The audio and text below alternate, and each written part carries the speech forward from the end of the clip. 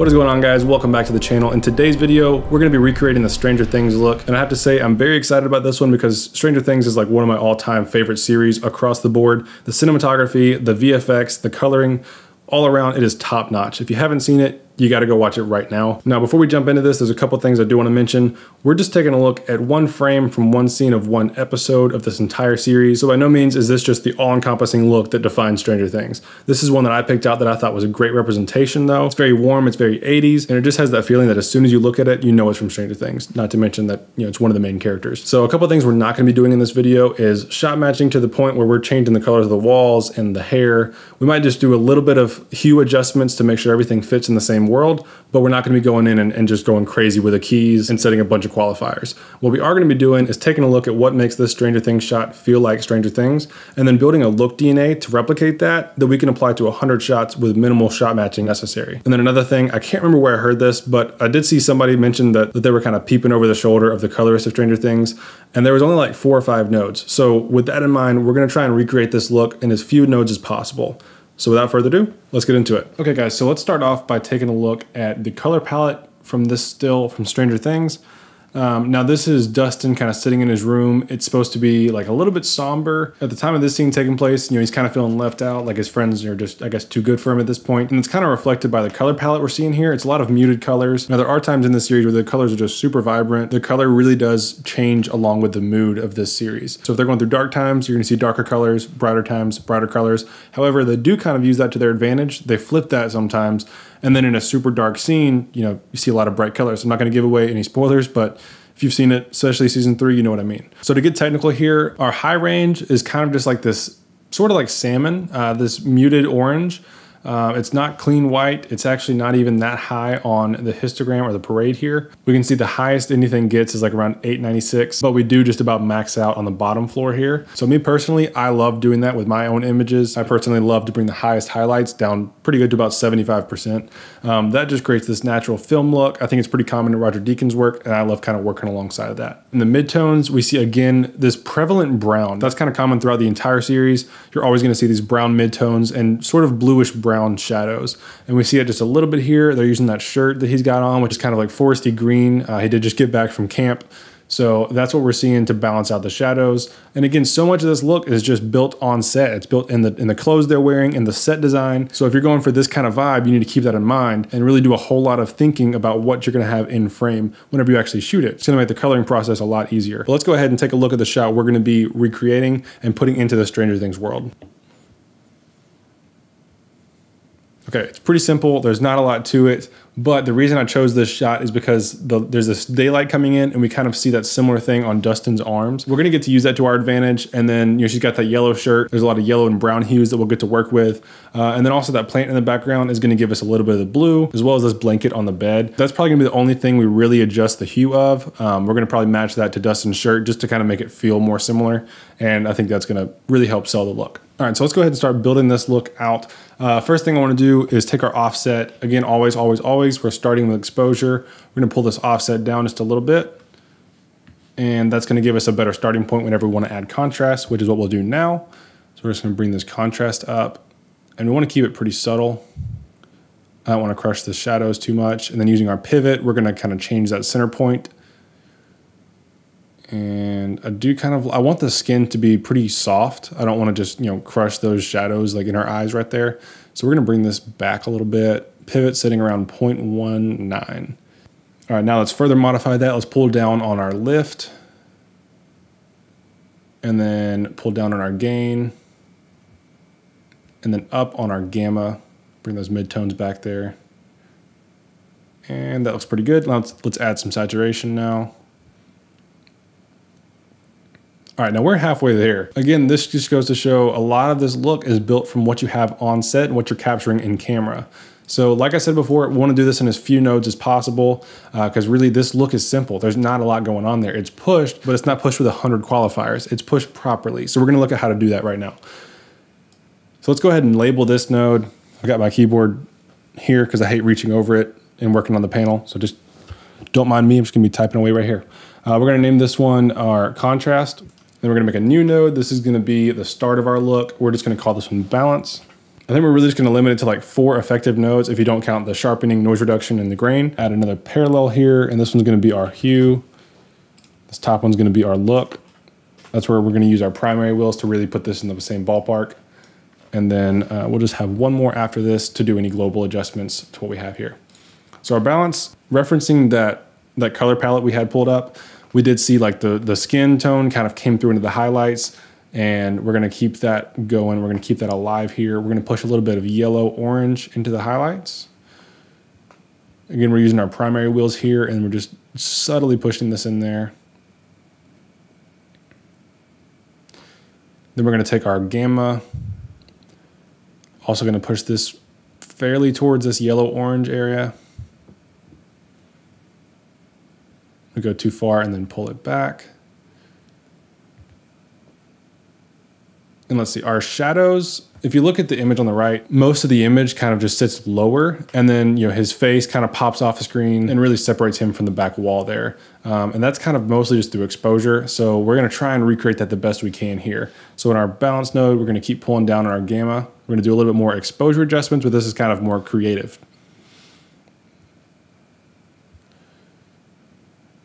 Just gonna keep pulling this down. I wanna kind of match exposures the best I can here without you know, breaking it. I still want it to look realistic. One up on the lift, down on the gamma. That's looking all right. We're done with the balance node. Let's go ahead and make this kind of blanket here, this blue kind of match Dustin's shirt a little bit better. So we're gonna go into split screen mode. If yours is set up on the horizontal swipe, you can change how all that looks up here in this top right-hand corner of your viewer. Now let's go into our hue versus hue curves. And we're gonna take that cyan, just gonna pull it up and it's going to make it a little more green.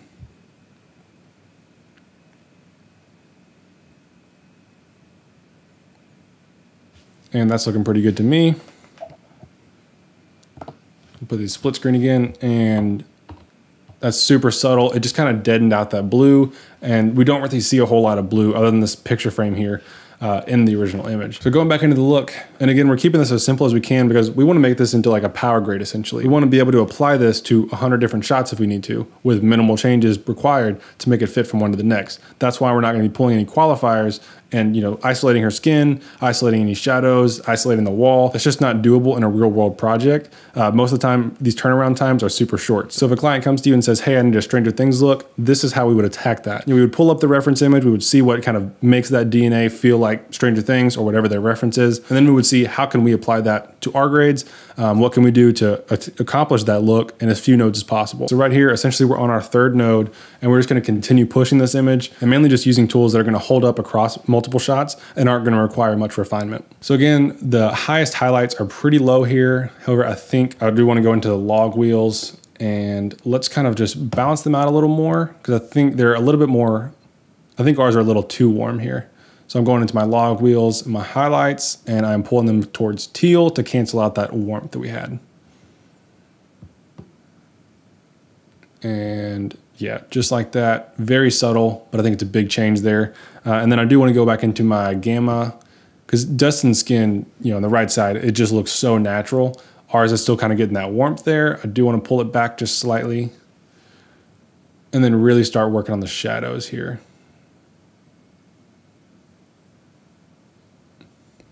Now, a big part of creating these professional grades is what's called stacking. That is going to be you know, pushing several colors on top of each other into different areas, different regions of your shadows, midtones, and highlights. So what I'm doing here, we've already pushed one color into the shadows in the balance node, and then we're kind of stacking on top of that with a look node, and we'll do it again, further refining the look in this look adjustment node, the sixth node here. So already, I mean, we've got a great looking image. Uh, I think you can show this to any client and they're going to be incredibly happy with it. But let's just continue pushing it as far as we can, um, seeing if there's any final steps we can do to make this look even better. Let's go into offset on our last node here. And we're just gonna kind of move this around and see where it looks best, see what this image really is asking for. And man, really just depending on what your client wants, I mean, if they're, we've kind of got the Stranger Things look here. Uh, this is looking really good in my opinion, pulling a little more towards blue or teal. Um, and then we can counter that with just pushing in the gain a little bit more warmth. Maybe the same thing in the in the shadows here, or not. You kind of just really just playing around with this. And let's go back into our hue node. Uh, I do think, I think we could push that blanket a little bit further towards green. Just kind of getting rid of any strong blues here.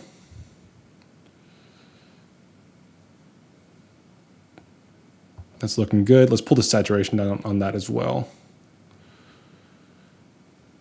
If we wanted to, we could add some vignettes real quick. So if we want to do that, let's go ahead and hop down here. We'll add a window. A lot of times I like to do an inside and an outside node. In this case, we're only going to be building that vignette with one node. So we're just going to add that circular window. We've clicked it, didn't pop up. You can just click this square here. Now it's back. And we want to give this pretty good size. I want to really pull her out as much as we can. And then we'll add a ton of softening. And let's go ahead and invert that. Then we'll go into our curves and grab an anchor here in the middle and just pull down slightly. And I can see I want to refine that window a little more. I want to make it a little narrower. That's pretty good. And then we could add, of course, our sharpening. About 0.47 and then because that's the weird thing about Stranger Things is like it's this vintage look, but it is still so sharp. And most of that's because in the third season, at least, they shot it in 8K, so it's on red. It's going to look outstanding. They shoot it very, very well. It's in 8K, but it's also very sharp. And then we add this grain on top of it, and it really just pulls the whole thing together. So let's go ahead and go into our effects. We'll add grain. And we're going to zoom in here kind of into the highlights is going to be a good area. And let's select our favorite 35 millimeter 400T. I'm going to bring that size up just slightly, as well as the strength. And now let's just kind of look at the image and analyze it. I think it does look pretty dang similar. Uh, what I do want to do is continue just adding more warmth into the highlights there, maybe as well into the shadows. Kind of playing on this, kind of playing this balancing act between our lift and our gamma. It's looking good. Maybe pull our highlights up just slightly and our lift down.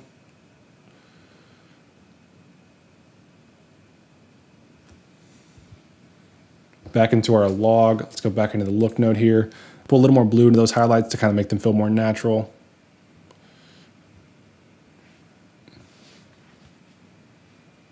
And let's do one more thing with the exposure here. Grab a point in the middle and kind of pull down on this. Let's see where it sits best. I leave it right here and then a point. Actually, let's go ahead and we'll click these three dots right here and check editable splines.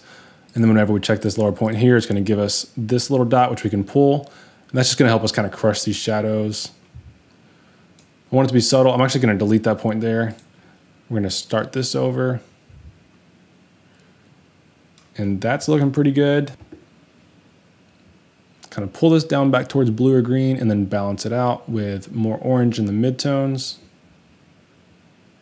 Uh, I think we got it pretty close. And again, I wanna reiterate, this is just a DNA. This is something we can apply to several shots. This is not meant to be something that matches 100%. And the reason I'm doing that in this tutorial is because that's how we would do it in a real world application. If a client requests a certain look, this is how I would go about taking that request and figuring out what makes that look so unique and then how to re-implement it with my own flair on just about any shot. And I know exactly from the ground up what it took to build that look. So I know where to go in and make any changes. So lastly, let's go in step by step and see what each node has done in this look recreation process. So here we have our flat image and we just kind of fixed our exposure and then added some contrast and saturation. And then in our balance node, we got pretty heavy with this. I'm not always gonna be this heavy with my balancing node uh, early on, but in this case, you know, we had what we needed, so we just kind of built off of it. And then we have our look node where mainly we just balanced out the highlights, then our hues. It's a very subtle thing we did here, but a lot of it was just taking that blue blanket and making it feel a little more green and earthy, which you can find across all of Stranger Things. Then we kind of further refined this look here in our look adjustment. And then we added this vignette here that really brought our actress out. Then we just added sharpening and grain. And again, this just goes to show you don't need to overcomplicate things. You don't need to have 100 nodes to get a professional creative look. All right, that's a wrap for me, guys. I hope you enjoyed this video. If you did, please be sure to send this to all your friends. I'd super appreciate it if you left a like on this video, subscribe to my channel, and then leave a comment letting me know what kind of videos you want to see next. That's it for me, and I will see you guys in the next video.